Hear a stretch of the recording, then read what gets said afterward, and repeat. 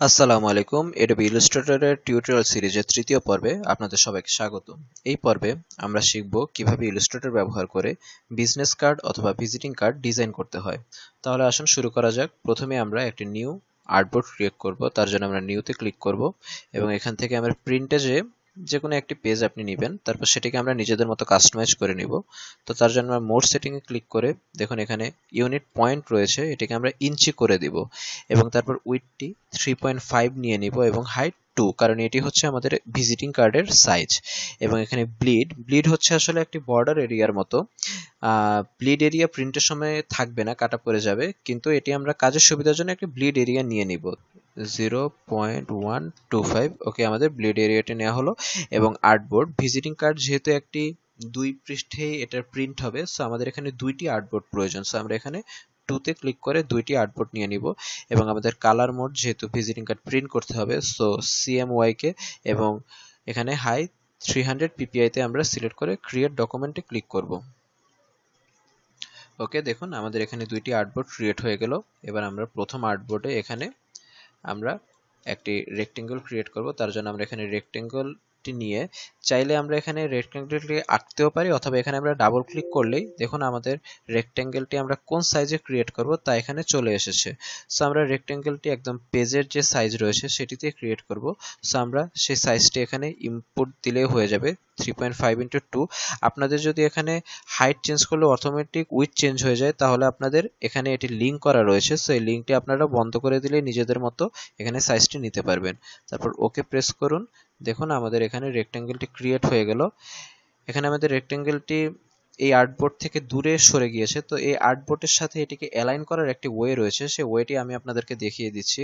তার জন্য আমাদের দেখুন, এখানে যে অ্যালাইন টুল রয়েছে, সেটি ওপেন করতে হবে। তারপর এখান থেকে একটি অপশন এখানে দেখাচ্ছে না। এখানে ক্লিক করে আপনারা শো অপশনটি সিলেক্ট করে নেবেন।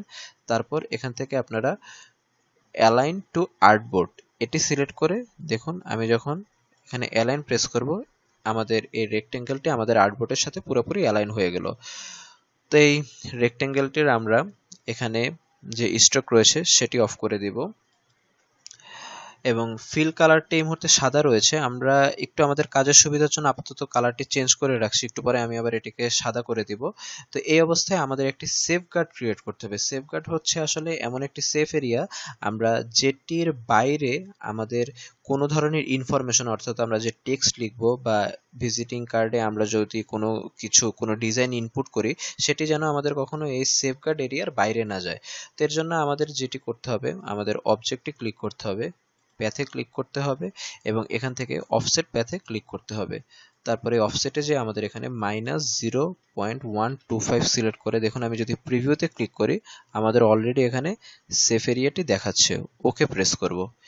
এবার আমরা আমাদের এই সেফ এরিয়াটিতে রাইট ক্লিক করে এটিকে আমরা এখান থেকে মেক গাইড করে দিব। মেক গাইড করলে যেটি হবে গাইড লেয়ারটি আমরা জাস্ট এখানে দেখতে পাবো, কিন্তু গাইড লেয়ারটি কখনোই রেন্ডারের সময় দেখা যাবে না। ওকে, আর আমাদের যে এখানে রেক্টেঙ্গেলটি রয়েছে, সেই রেক্টেঙ্গেলটি আমাদের লক করে দিব। লক না করলে যেটি হবে, আমরা যখন কাজ করব, তখন এটি অন্য কোনো কিছু নাড়াচাড়া করতে গেলে দেখা যাবে এটি হয়তো এভাবে নড়ে যেতে পারে। তো আমি আবার কন্ট্রোল জেটে প্রেস করলাম, সো আমরা এটিকে লক করে দেব। তার জন্য অবজেক্টে ক্লিক করে লকে থেকে সিলেকশনে যাব, এটি আমাদের লক হয়ে গেল। ওকে, আসুন, এবার আমরা আমাদের মেইন ডিজাইনের কাজ শুরু করি। তার আগে আমি আবার এটির কালারকে হোয়াইট করে নিলাম। ও, আমি খুবই সরি এই হোয়াইটটি আসলে আমাদের যে লক করার আগে আমাদের হোয়াইট করতে হবে, কারণ লক করার পর এটির কালার আর চেঞ্জ করা যাবে না। সো আমি লক করার আগের পজিশনে যাবার জন্য আবার কন্ট্রোল জেরে প্রেস করছি। এই যে দেখুন, আমাদের লক করার আগের পজিশনে চলে গেলাম, অর্থাৎ আমি আমার লাস্ট কয়েকটি মুভ আন্ডু করলাম। সো আমি এটিকে আগে হোয়াইট করে নিব এবং তারপর আমি এটিকে অবজেক্ট থেকে ক্লিক করে লকে ক্লিক করে সিলেকশনে ক্লিক করে লক করে দিব। ওকে এবার আমি আরেকটি রেক্টেঙ্গেল ক্রিয়েট করব। তার জন্য আমি রেক্টেঙ্গেলটি সিলেক্ট করে আবার এখানে ডাবল ক্লিক করলাম। দেখুন আমাদের হাইট এবং উইথ আগের মতোই পারফেক্টলি সিলেক্ট করা আছে। আমি ওকে প্রেস করব এবং এটিকে আমি আবার আগের মতো অ্যালাইনে ক্লিক করে এটিকে অ্যালাইন করে নিব। এবার এই রেক্টেঙ্গেলটির কালার আমি চেঞ্জ করে নিব। এটির কালার চেঞ্জ করে আমি ধরুন মোটামুটি ওকে আমি এখান থেকে কালারটি কাস্টম কালার নিয়ে নিচ্ছি। এখানে ডাবল ক্লিক করে আমি আমার কালার প্যানেলটি ওপেন করে ওকে হ্যাঁ আমি এরকম একটি কালারে খুঁজছিলাম। এবার আমি যে কাজটি করব, আমি এই পয়েন্টগুলো সিলেক্ট করে পয়েন্টগুলোকে মুভ করব। তো পয়েন্ট সিলেক্ট করার জন্য আমাদের যে ডিরেক্ট সিলেকশন টুল এটি সিলেক্ট করে নিতে হবে। তারপর দেখুন, আমি এখানে মাউস নিলে এই যে আমার পয়েন্টটি দেখাচ্ছে আমি পয়েন্টটি সিলেক্ট করে পয়েন্টটি এখানে মুভ করব, আবার নিচের পয়েন্টটি আমি একইভাবে মুভ করব। ওকে আমাদের মোটামুটি পয়েন্টটি পারফেক্টভাবে মুভ হয়েছে। এবার আমরা যে কাজটি করব, সেটি হচ্ছে আমরা আবার রেক্টেঙ্গল টুলটি নিব, এবং এখানে আমরা আরেকটি শেপ ক্রিয়েট করব। ওকে ধরুন মোটামুটি এরকম সাইজের শেপ এই শেপটির কালারটি আমরা চেঞ্জ করে নিব। এর জন্য আমরা আবার কালারে ক্লিক করে এটিকে আমরা মোটামুটি একটি ধূসর কালার দিব। ওকে হ্যাঁ দেখুন, এই কালারটি কিন্তু উপরের ওই কালারটি থেকে ডিফারেন্ট ওকে এটিকে আমরা আরেকটু লাইট ধূসর করে দিচ্ছি। ওকে এবার আমরা যেটি করব, এটিকে আমরা কপি করব, তার জন্য আমরা এটাকে আরেকটু নিচে নামিয়ে আনলাম। তারপর কপি করার জন্য আমরা অল্টার বাটন প্রেস করে রেখে এটিকে জাস্ট ড্রাগ করে নিচে আনলে কপি হয়ে যাবে। দেখুন, আমি এটির তিনটি কপি ক্রিয়েট করলাম এবং তারপর এগুলোকে আমি আমার প্রয়োজন মতো অ্যালাইন করে নিলাম। তারপর এগুলোকে বড় করে দিলাম। ওকে এখন দেখুন আমাদের একটি কাজ করতে হবে। সেটি হচ্ছে এই যে এই দাগের বাইরে যে বাড়তি অংশগুলো চলে এসেছে, এই বাড়তি অংশগুলো আমাদের ডিলিট করতে হবে। তো এই কাজটি আমরা কীভাবে করতে পারি? তার জন্য আমাদের এখানে যে টুলটি রয়েছে লাইন সেগমেন্ট টুল এই টুলটি নিতে হবে। তারপর এখানে ক্লিক করে ড্রাগ করে আমাদের এই লাইনের এখান পর্যন্ত আনতে হবে। তারপর আমাদের যে কাজটি করতে হবে এটি সিলেক্ট থাকা অবস্থাতে আমরা শিফট বাটন প্রেস করে রেখে আমরা যে তিনটি রেক্টেঙ্গল ক্রিয়েট করেছি, ওই তিনটি রেক্টেঙ্গলও আমাদের সিলেক্ট করতে হবে। এবং তারপর আমাদের এখানে যে প্যাথ ফাইন্ডার টুলটি রয়েছে, সেই প্যাথ ফাইন্ডার টুলে যেতে হবে এবং তারপর এই ডিভাইড অপশনটিতে আমাদের ক্লিক করতে হবে। দেখুন ডিভাইডে আমি ক্লিক করলাম এবং তারপর এখন এই অবস্থায় এগুলো সব কিছু একত্রে আসলে গ্রুপ হয়ে গেছে সো আমাদের এখানে রাইট ক্লিক করে আনগ্রুপ করে নিতে হবে। দেখুন আনগ্রুপ করার পরে আমি চাইলে এই বাড়তি অংশগুলো অলরেডি কাটা হয়ে গিয়েছে। সো আমি এগুলো সিলেক্ট করে জাস্ট ডিলিট করে দিলাম। দেখুন, এগুলো ডিলিট হয়ে গেল। এখন আমি এই তিনটি শেপ সিলেক্ট করে এগুলোকে একটু এদিকে নিয়ে আসলাম। এটি আমাদের কার্ডটিকে আর একটু বৈচিত্র্যময় করবে। সো এবার আমাদের এই পাশের অংশগুলো আমাদের ডিলিট করতে হবে। একইভাবে আমি প্রেস করে ক্রিয়েট করলাম। আমি আবার আগের মতো আমাদের এই তিনটি রেক্টেঙ্গল সিলেক্ট করলাম। প্যাথফাইন্ডার ডিভাইডে ক্লিক করলাম। রাইট ক্লিক করে আনগ্রুপ করে নিলাম এবং তারপর এই বাড়তি অংশগুলো ডিলিট করে নিলাম। ওকে দেখুন পারফেক্ট এবার আমি যে কাজটি করব, এই তিনটি বক্সে আমরা আমাদের নিজেদের ইনফরমেশন বসাবো। যেমন, এটি যেহেতু অফিসের ভিজিটিং কার্ড সো এখানে ধরুন আমার অফিসের অ্যাড্রেস অফিসের এবং আমার পার্সোনাল ফোন নাম্বার এবং আমার অফিসের যে ওয়েবসাইটের অ্যাড্রেস সেটি বসাবো। বা এখানে আমি চাইলে আমার মেইল অ্যাকাউন্ট যেটা ইচ্ছা সেটাই দিতে পারি। তো এর জন্য আমাদের এখানে আমরা কিছু আইকন ব্যবহার করব। আইকন ব্যবহার করলে জিনিসগুলো আরও বেশি সুন্দর লাগবে। তো আপনারা কোথা থেকে এরকম আইকন নামাতে পারেন সেটি আমি আপনাদেরকে একবার দেখিয়ে দিচ্ছি। আপনারা ইন্টারনেটে যে গুগলে ফ্রি আইকন লিখে সার্চ দিবেন। দেখুন, অনেকগুলো সাইট আসলো। আমি এখানে সেকেন্ড সাইটটাতে গেলাম। ওকে এখানে সার্চ আইকন আমি যে আইকনটি চাই, সেই আইকন ধরুন আমি এখানে ফোন ফোন লিখে সার্চ দিলাম। ওকে দেখুন, অনেক রকম ফোনের আইকন আসলো। এখন আমি যেই ফোনের আইকনটা ব্যবহার করতে যাচ্ছি, সেই আইকনটি ধরুন আমি এই আইকনটি ব্যবহার করব, এটি আমি সিলেক্ট করলাম। সিলেক্ট করে এখানে আমি ডাউনলোডে ক্লিক করলেই আমার আইকনটি ডাউনলোড হয়ে যাবে। তো আমাদের এই টিউটোরিয়ালের জন্য যে কয়েকটি ডাউনলোড লাগবে, সেগুলো অলরেডি আমি ডাউনলোড করে রেখেছি।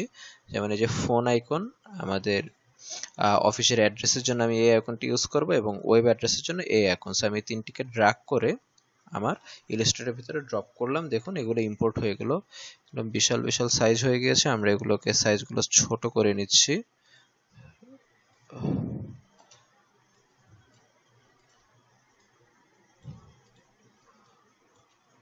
ওকে এই পর্যায়ে আমি যে কাজটি করব আমি এই আইকনগুলোকে এখানে একটি বৃত্তের ভিতরে রাখব, তাহলে এগুলো দেখতে আর একটু সুন্দর হবে। সো আমি আগে ওই সার্কেলটি ক্রিয়েট করে নিচ্ছি এর জন্য আমি এলিপস টুলে যাব এবং আমার শিফট বাটন প্রেস করে আমি কিন্তু এলিপসটি ক্রিয়েট করব, তাহলে এটি একদম পারফেক্ট একটি সার্কেল হবে। দেখুন, এবং আমি এই এলিপসটি এখানে ফিল থেকে এটিকে আমি হোয়াইট ফিল করে দেব। ওকে এবার দেখুন ওকে, এখন এটিকে আমি কপি করে নিচে আনব, আবার নিচেরটা আরেকটা নিব। Okay, perfect. এখন দেখুন, আমি প্রথমে আমার এই আইকনটি এটির ভিতরে নিয়ে আসছি। দেখুন, এখানে আইকনটি আমাদের এই সার্কেলের বৃত্তের নিচের লেয়ার হিসেবে চলে গিয়েছে, তো এটিকে আমরা কীভাবে উপরে নিতে পারি? না হলে এটি এখন ভিজিবল হচ্ছে না, তার জন্য আমরা এখানে লেয়ারে যাব এবং লেয়ারে যাওয়ার পর এই লেয়ারে আমরা এখানে এক্সপেন্ড করব।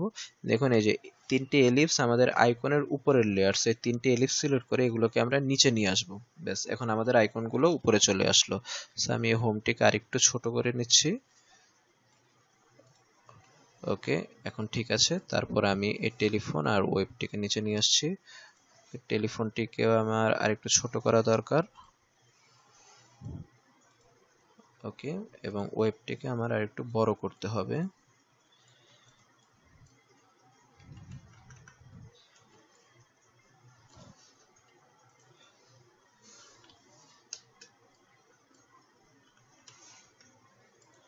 ওকে আমাদের তিনটে আইকনে আমাদের বসানো হয়ে গেল।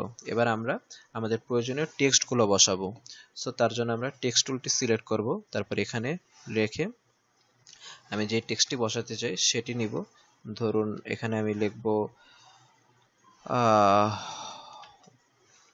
অফিস স্ট্রিট নাও দেন নিচের ইয়েতে সিটি কান্ট্রি দেখুন, এখানে আমাদের টেক্সটগুলো অনেক বড়। সো টেক্সটগুলো আমি সিলেক্ট করে টেক্সটের সাইজ কমিয়ে দিব। ছয় ওকে ছয় করে দিব। টেক্সটগুলো আমি টেক্সটের ফন্টটি এখানে চেঞ্জ করে নিচ্ছি। একটি সুন্দর ফন্ট এখানে আমি দেওয়ার চেষ্টা করছি, যেটি দিলে টেক্সটটি দেখতে আসলে আরও সুন্দর লাগবে। ওকে এখানে ফ্র্যাঙ্কলিন গথিক মিডিয়াম ওকে এই ফন্টটি দেখতে মোটামুটি সুন্দর লাগছে। এখানে দেখুন, দুই লাইনের মাঝখানে স্পেসটি একটু বেশি হয়ে যাচ্ছে। সো আমি এই স্পেসটিও একটু কমানো দরকার। তার জন্য আমি যে কাজটি করব, এই টেক্সটটিকে সিলেক্ট করে, দেখুন, আমি যদি টেক্সটগুলোকে সিলেক্ট করে এখানে প্যারাগ্রাফে ক্লিক করি, তাহলে এখান থেকে যে আমি এটির লাইন স্পেসটি কমাতে পারব। সো আমি এখানে মাইনাস ওয়ান করে দিলাম। Okay, so now it looks totally okay. আমি এখানে যেহেতু আমি নির্দিষ্ট কোনো অফিসের অ্যাড্রেস বসাচ্ছি না, তাই আমি জাস্ট এখানে আসলে এই টেক্সটগুলো লিখে রেখেছি। তো আমি এই টেক্সটটিকে কপি করে নিচে নিয়ে আসব অল বাটন প্রেস করে। ওকে, নিয়ে আসলাম নিচে। আরেকবার অল বাটন প্রেস করে এখানে নিচে নিয়ে আসলাম। এবার এই টেক্সটগুলোকে আমি এডিট করব। এখানে ধরুন phone number zero one two three four five six seven eight nine আর নিচে হয়তো অফিসের টিএনটি নাম্বারটি নাইন টু আমি জাস্ট এখানে র্যান্ডমলি কিছু নাম্বার লিখলাম এবং তারপর আমাদের যে ওয়েব অ্যাড্রেস সে ওয়েব অ্যাড্রেসটি আমাদের এডিট করতে হবে। তো দেখুন, আমি এবার ওয়েব অ্যাড্রেসটিও এডিট করে দিচ্ছি। www.youtube.com ওকে এবং ওয়েব অ্যাড্রেসটি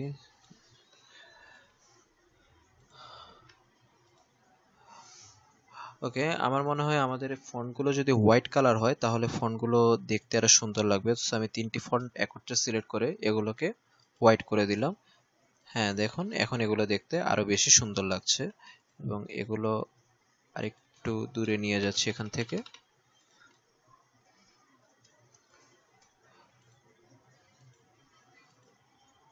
ওকে নাও দে লুক পারফেক্ট এবার আমি যেটি করব এটি যেই পার্সনের ভিজিটিং কার্ড, তার নাম আমরা যেই জায়গায় লিখব সো এখানে আমি ধরুন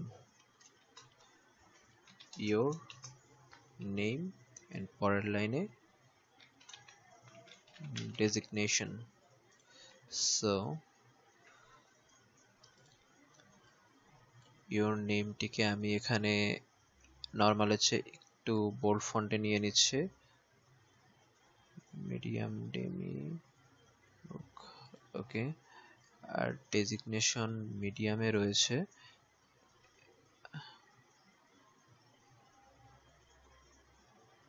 ওকে ডেজিগনেশন মিডিয়ামে থাকুক। এটিকে আমি অনেক বড় করে দিব ফন্টটিকে ধরুন সরি সরি অনেক বেশি বড় করে ফেলেছি। আঠারো,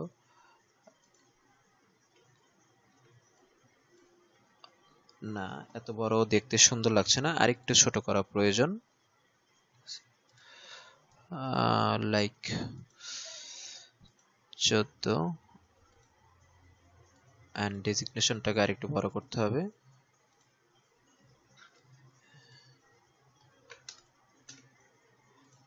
ওকে হ্যাঁ এখন এটি দেখতে মোটামুটি সুন্দর লাগছে।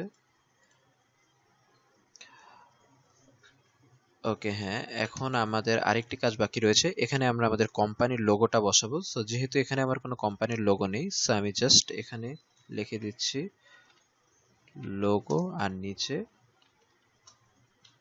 ইওর কোম্পানি এবং এই লেখাটাকে আমি লোগোটিকে আমার হেভি ফন্টে নিয়ে নিলাম এবং লোগোটিকে আমি বড় করে দিচ্ছি। এখানে দেখুন, আমরা যদি জুম ইন করি, এই যে দেখুন, আমাদের এটি কিন্তু যে সেফ লাইন আমরা রেখেছিলাম, সেটির বাইরে চলে যাচ্ছে সো এই ব্যাপারটি খেয়াল রাখতে হবে। হ্যাঁ এখন এটি ঠিক আছে। লোগোটি আরেকটু ছোট হলেও চলে, আরেকটু ছোট করে দিচ্ছি। এখানে ছত্রিশের দরকার নেই, আমার মনে হয় এটিকে তিরিশ করে দিলাম। আর ইউর কোম্পানি এই টেক্সটটিকে আরেকটু বড় করে দিই। দশ। হ্যাঁ এবার ঠিক আছে। দেখুন, এই যে আমাদের সেফ লাইনটি সো মোটামুটি এখানে আমি টেক্সটে রাখছি। সো এই আমাদের ভিজিটিং কার্ডের মেইন যে অংশ, সেই পার্টটি ডিজাইন করা শেষ। এবার আমাদের ফ্রন্ট অংশ। ফ্রন্ট অংশ আসলে আমাদের তেমন কিছুই থাকে না। জাস্ট আমাদের লোগোটা থাকবে এবং হয়তো এক কালারের উপর আমাদের লোগোটা থাকবে বা কালারে যদি আমরা একটু ভ্যারিয়েশন আনতে চাই সো এই ক্ষেত্রে আমি যেটি করব, এটিকে আমি অল বাটন প্রেস করে এখানে একটি কপি ক্রিয়েট করব। দেখুন, এটিকে আমি বড় করে নিচ্ছি স্কেল আপ করে নিচ্ছি এবং এটিকে আমি ঠিকমতো অ্যালাইন করে নিলাম। তারপর আমি যে কাজটি করব, এখানে আমি একটি রেক্টেঙ্গল ক্রিয়েট করব। সো রেক্টেঙ্গলটা সিলেক্ট করে ডাবল ক্লিক করলাম। আমাদের দেখুন যে সাইজটি ছিল আমাদের, ওই সাইজটি three point five by two okay দেখুন আমাদের রেক্টেঙ্গলটি ক্রিয়েট হয়ে গেল। আবার আমরা আমাদের অ্যালাইন টুল ব্যবহার করে রেক্টেঙ্গলটি আমাদের পারফেক্টলি অ্যালাইন করে নিলাম। আমাদের এই রেক্টেঙ্গলটি আমাদের টেক্সট টুলের উপরে ক্রিয়েট হয়েছে, তাই টেক্সট টুলটি ঢাকা পড়ে গেছে। যাই হোক, ওটি আমরা পরে ঠিক করব। এবং এই রেক্টেঙ্গলটির কালার আমরা এখান থেকে চেঞ্জ করে নিব। আমরা এই রেক্টেঙ্গলটির কালার এই সেম কালারে নিয়ে নিব। সো আমরা এখান থেকে আই বাটনে প্রেস করব, আমাদের ড্রপার চলে আসবে এবং দেখুন আমরা কালারটি এটি নিয়ে নিলাম। বাই দ্য এখানে আমি এইমাত্র আরেকটা জিনিস খেয়াল করলাম, আমরা এই ফন্টটিকে সাদা করে দিই। তাহলে এটি দেখতে আরও সুন্দর লাগবে। হ্যাঁ এখন এটি দেখতে আরও বেশি ভালো লাগছে। ওকে যাই হোক, আমরা আবার আমাদের এখানে ফিরে আসি। ওকে আমাদের এই কাজটি শেষ। এখন আমরা আমাদের লেয়ারে যে আমাদের রেক্টেঙ্গলটির লোগোর নিচে নিয়ে যাব। সো আমরা আমাদের লোগোটি এখানে ভিজিবল হলো। সো এই পর্যায়ে আমাদের অলরেডি কাজ শেষ। তারপরও আপনারা যদি চান, তাহলে এটিকে আরেকটু বৈচিত্র্যময় করতে পারেন। তো সেটি করার জন্য আমরা এখানে আরেকটি রেক্টেঙ্গল ক্রিয়েট করব। তার জন্য আমি এখানে ডাবল ক্লিক করলাম। দেখুন, আমাদের রেক্টেঙ্গল ক্রিয়েট হলো। এই নতুন রেক্টেঙ্গলটিকেও আমরা অ্যালাইন টুল ব্যবহার করে অ্যালাইন করে নিলাম এবং এই রেক্টেঙ্গলটির কালার আমি নিলাম হোয়াইট কালার এখন আমি যে কাজটি করব সেটি হচ্ছে আমাদের এখানে পেন টুলটি আমি নিব এবং পেন টুলটি নিয়ে অ্যাড অ্যাঙ্কর পয়েন্টে ক্লিক করব। তারপর দেখুন, এখানে আমি এই মাঝখানের সাথে মিল রেখে এখানে আমি কিছু পয়েন্ট ক্রিয়েট করব। একটি পয়েন্ট ক্রিয়েট করলাম, এখানে আমি আরেকটি পয়েন্ট ক্রিয়েট করব।